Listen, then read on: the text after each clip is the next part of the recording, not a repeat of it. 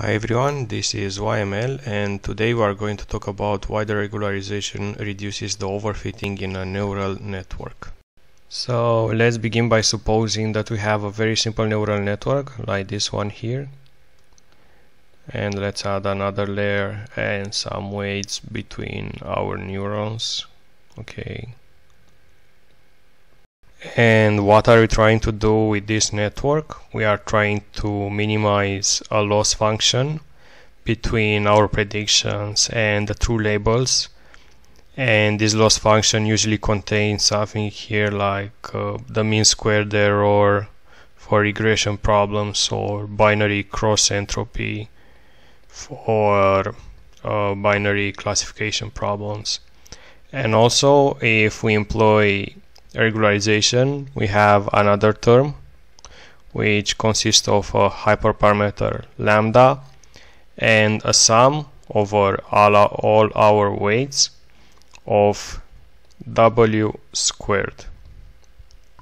And now let's briefly explain what each term in the regularization part of the loss function means. So we have the hyperparameter lambda which controls mostly how much importance we give to the regularization term here the sum of our weights. And also this sum can be expanded as w1 squared plus w2 squared plus dot dot dot. And now let's remember what we are trying to do. We are trying to minimize the loss function and when we are trying to minimize it what happens in the regularization part of the loss function?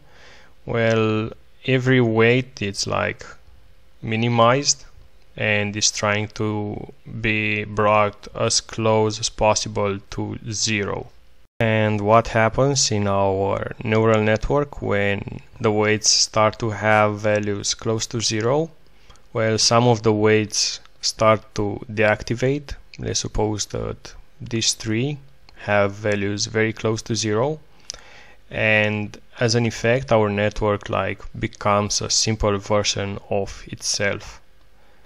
Okay let's draw like the simple version of this network where we deactivate these weights.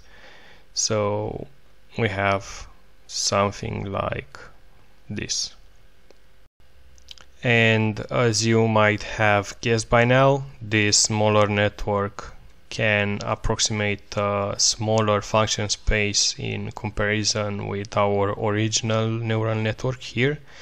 And as a result of that we decrease the variance or the overfitting chance of the network I hope that after watching this video you'll get a better intuition of why the regularization works and why it reduces overfitting. And with all this being said I would like to thank you for watching this video and hope to see you next time. Bye bye